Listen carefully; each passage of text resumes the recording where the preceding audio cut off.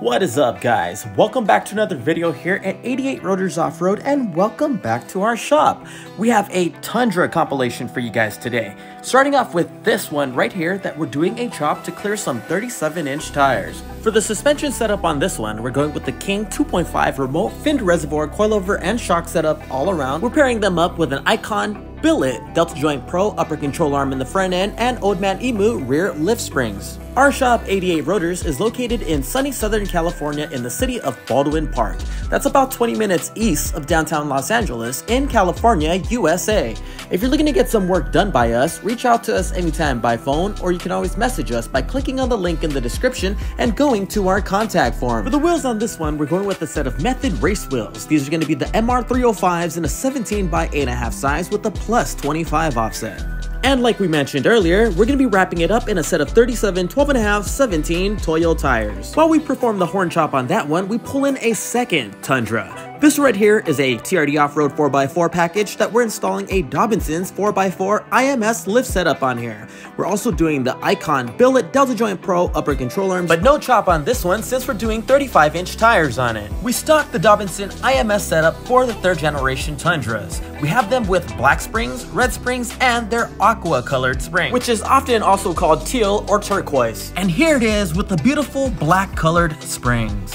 Just kidding, it's red. For the wheels and tires on this one, we're going with a set of Method MR305s also in double black. This one's going to be in a 17 by 8.5 size with a zero offset. We're running 35 inch tires on it so we can run a little bit lower offset on here and get full clearance without needing a chop. Minimal modifications are needed, we just need to push the fender liner forward and back on it to get full clearance. Here you can see our tech installing the rear Dobinson springs. Our tire techs have already mounted and balanced the wheels and tires and bringing it over to prep to install them. Our other tech is preparing the rear shocks to be installed. As you can see, our Shop 88 Rotors uses teams to perform jobs. That way we cut your wait time down drastically. When some guys ask you for a couple days to do the job, we ask for a couple of hours. Dobinson IMS lift setup has been installed with the Icon upper control arms. The new wheels and tires are on as well, so we're bringing it out for a quick test drive. I do apologize for the shakiness here. I accidentally recorded it in slow-mo, so once you speed it up, it gets choppy like that.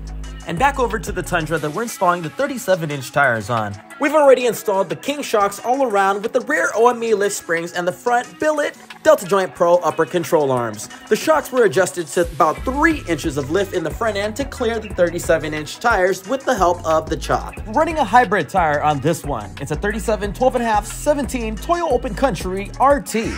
We hope that you're enjoying the video so far, and if you do so, please find time to click on that thumbs up and give us a like. It makes a big difference for this video and the channel itself, and it definitely encourages us to make more videos like this for your viewing pleasure.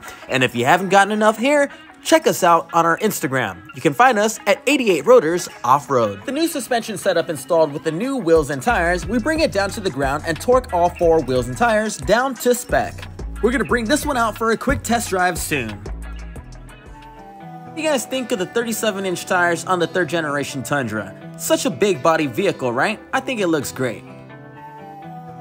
Next up, we have a white Tundra TRD Pro that's going with a Westcott Designs lift kit to retain the factory TRD Pro Fox suspension.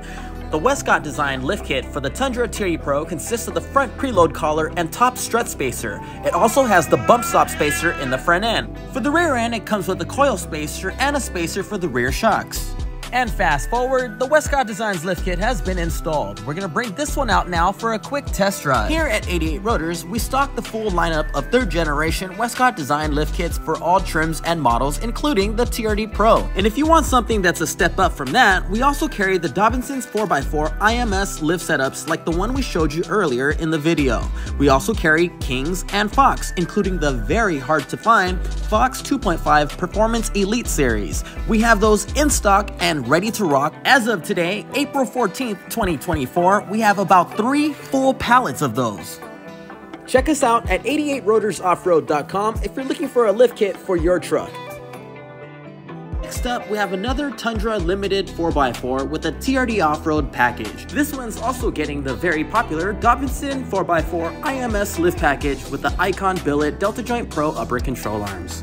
The owner of this vehicle decided to go with some 18 inch wheels. They're going to be the MR305s in an 18 by 9 with a positive 18 offset in a Method bronze color. Wrapping it up in a 35 12.5 18 BF Goodrich All Terrain KO2. All is good, so we're going to pull this one out for a quick test drive.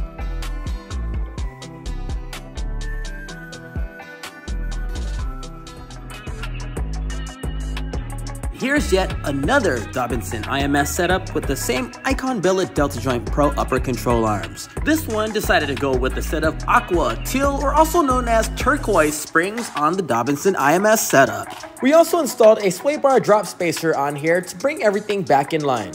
The owner of this Tundra decided to go with a Method race wheel, the MR305, which is a very popular wheel in a 17 by 8.5 size with the zero offset. Color of choice here is the double black finish. And we wrap them up in a 35 12 and a half 17 BF Goodrich All-Terrain KO2.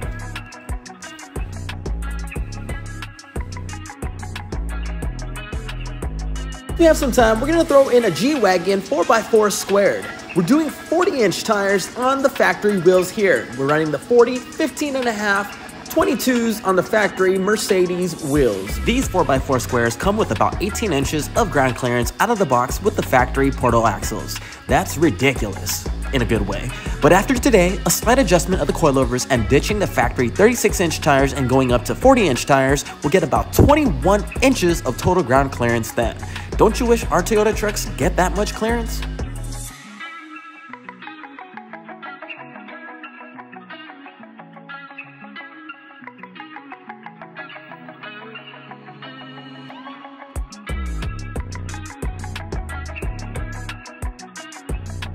Next up, we have a Bronco that we're going to do an Eibach setup on. We're doing the coilovers for front and rear with the SPC upper control arms.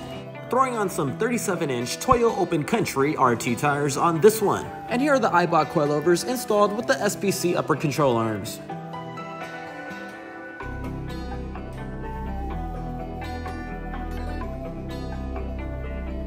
And this is the finished product. 37 inch tires on this two door Bronco with an Eibach and SPC upper control arm setup. Thank you very much for joining us today, guys. We greatly appreciate it. Make sure to comment, like, share, and subscribe. And if you haven't already, turn on that notification bell. That way you'll get alerted the next time we post another video. Until then, take care, guys.